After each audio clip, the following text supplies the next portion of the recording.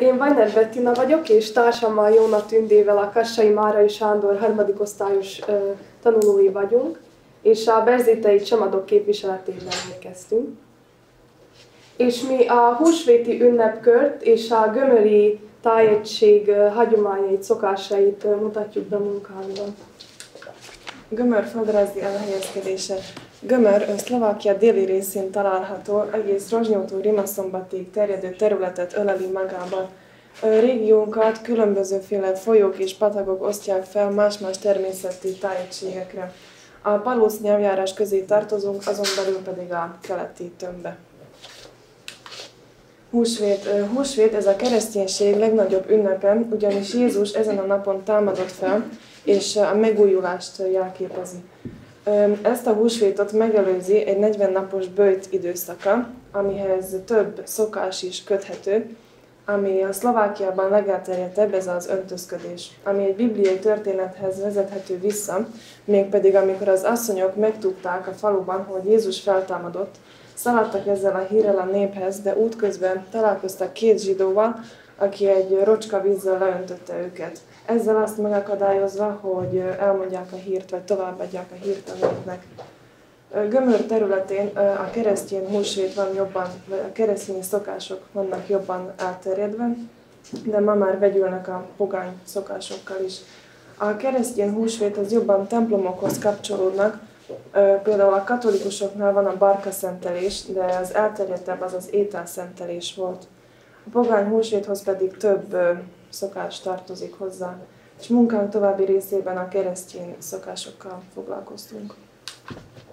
És itt látható egy kép, ahogy régen a fiatalok az öregekkel vegyültek, és, és így indultak öntözködni, és a lányok, ha nem akartak kimenni a házból, akkor kihúzták őket, és, és kaptak egy rocska hideg vizet. A húsvétot jóval megelőző ünnepkör, ez a nagybőjt időszaka, ez egészen 40 napig tartott húsvét előtt, és hamvazó szerdával kezdődött. Hamvazó szerdán a, a katolikus hívek elmentek a templomba, és a pap a tavalyi megszentelt barka hamvaival keresztet rajzolta a homlokukra, amivel azt jelképezték, hogy porból lettünk és porrá leszünk. Mivel a bőjt időszakában tiltott volt a, a tánc, és a páros tánc és a bálok rendezése, ezért a lányok összegyűltek és különböző játékokat játszottak és táncoltak, és jellegzetes volt a karikázó, amit Berzitnél és Körösben kiegészítettek egy rátóval, ez itt látható a képen. A rátó ez egy ilyen köcsökszerű edény, és tejet hordtak benne, és körbeálltak a lányok és az idősebbek, és hát ezzel a rátóval táncoltak, forogtak vele, fejük fölött dobálták, valamint még a kapustáncok is jelentősek voltak, a bujbuj zöldág dalt énekelték közben. Virágvasárnap. A virágvasárnapi misén jellegzetes volt a bárka szentelés, amihez szokás is köthető, mégpedig, hogy gyógyításra használták fel, torokgyógyításra ezen belül a barka palmágat helyettesít, ugyanis Jézus ezen a napon vonult Jeruzsálembe. Ezen a napon nagyon elterjedt régiónkban a kiszajárás, ami a kisze ez egy szálmabáb, ami lánynak van beöltöztetve. A lányok hangos énekszóval vonultak végig a falun, és a falu végén meggyújtották ezt a szálmabábot, és folyóba dobták. Ezzel azt jelképezve, hogy elbúcsúztak a téltől, és várják a tavaszt. És ez a szokás, ez Nyitra területéről érkezett be hozzánk, és a szlovákok is, szlovákoknál is jelentős. Zöld csütörtök. Ezen a napon a katolikusok a templomban megfosztották mindenféle díszeitől, csak egy-egy gyertya maradhatott égben. Ezen a napon Jézus tehát Jézus emlékére emlékezünk itt is. Ezen a nap volt, amikor a falu bikáját először vezették ki a, a legelőre, de először a gazda tett egy kolompot a nyakába, ezzel pedig végigvezette a falun és kapott érte néhány fillért. és jellegzetes volt a zöld ételek fogyasztása ezen a napon, amit zöld növényekből készítettek, mint például a spenót.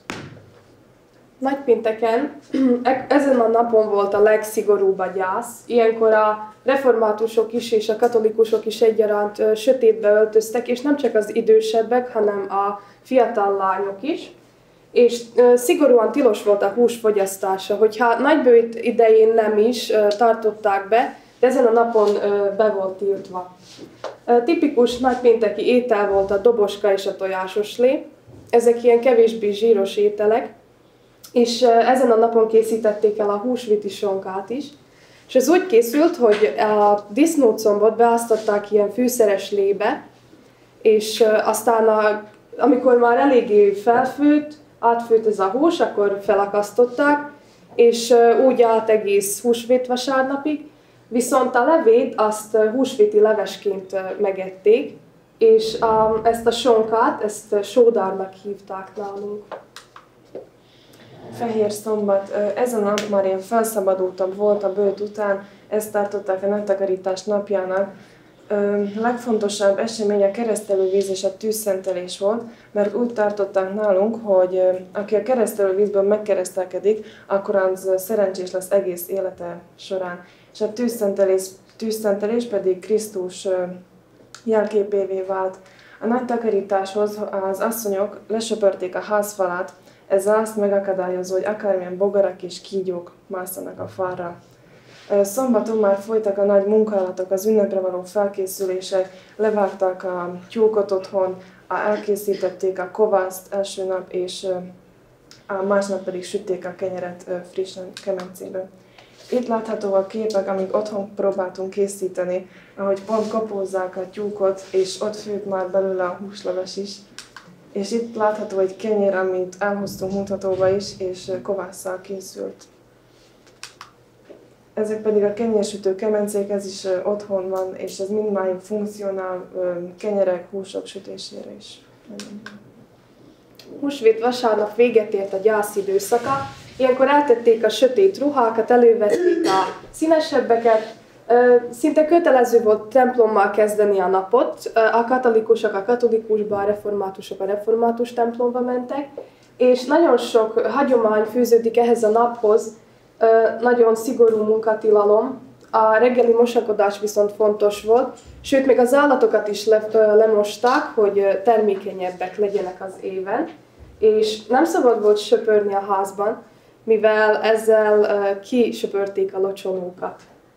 Aztán délben összegyűlt a család, leültek a, az ebédhez, az ebéd jellegzetes húsít vasárnapi ételek voltak a húsleves, a töltött bárány, töltött káposzta, aztán elővették a pénteken elkészített sonkát is, és a, a gazda megkínálta a saját készítésű borával a vendégeket, és aztán a sült édességek is előkerültek, ami szintén uh, itt láthatóak az asztalon.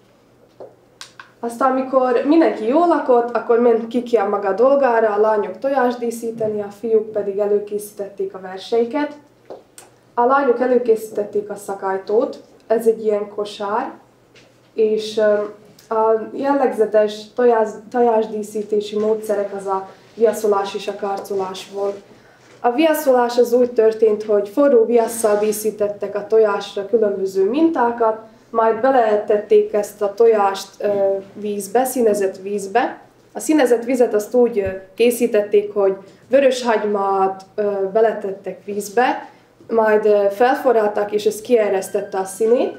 Beletették a tojást, és az lett az eredménye, hogy ahol a viasz volt, ahol a minta volt, ott nem fogta be a tojást a festék, és így kirajzolódtak a minták. Majd még ezt szalonnabőrrel fényesítették, és a karcolás az pedig fordítva történt, először megszínezték a tojást, és úgy belekarcolták a mintát. Ez a, a viaszolás, így, így fényesítették, és itt látható a szakajtó, amiben beletették a tojásokat. Húsvét hétfő. A húsvét hétfői mise legfontosabb része az az ételszentelés volt, ugyanis Jézus utolsó vacsoráját is megáldotta az asszonyok elvitték a sonkát, a kalácsokat, különböző, különböző ételeket, és ezt a pápa templomban megszentelte nekik. Húsvét hétfőn jártak öntözködni, mégpedig először a kisebbek indultak útnak, akik díszes kölnivel öntözködtek, és amit kapták pénzt, azt vándormozira vagy színházra költötték el. Magyarán mondva ők végigfutották a falut piros tojás érdekében. Délután már az idősebbek indultak, az ilyen 13-17 évesek indultak útnak, akik cigányzene kíséretében vonultak végig a falun, akik már nem piros tojásért öntözködtek, de még nem voltak abban a korban, hogy a gazda házi pálinkájából is kapjanak, ezért mind a kettőből kaptak egy keveset.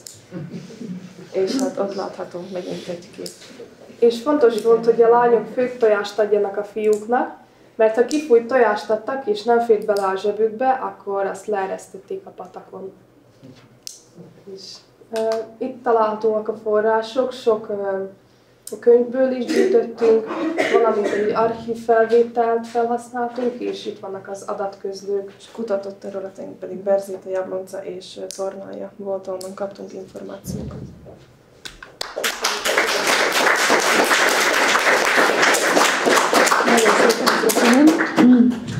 Olyan, olyan, olyan jó benneteket hallgatni. Meg, meg kell, hogy mondjam, hogy, hogy ezeknek a találkozóknak egyik legnagyobb pozitívuma az, hogy megtanultok olyan szépen elmondani dolgokat, amikre az emberek odafigyelnek.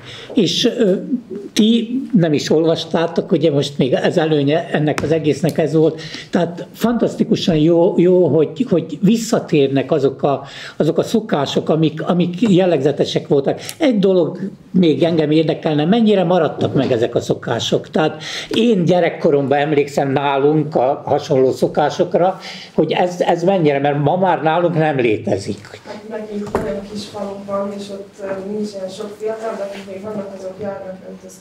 Igen. Vannak akkor is, de ez, ez, ez az egész nagy hétnek például az eseményei, ahogy, ahogy nagy csütörtöktől kezdve végig egészen húsvét vasárnapig, virágvasárnapról nem is beszélve. Tehát ahogy, ahogy ezek az ünnepek vannak, ezek, ezeket mennyire tartják be az emberek? Mert mondjuk a rendszerváltás előtt itt mi ugye mindnyáján tudjuk azt, hogy pedagógus a templomba ment, akkor a munkájával fizetetett munkáját veszítette el.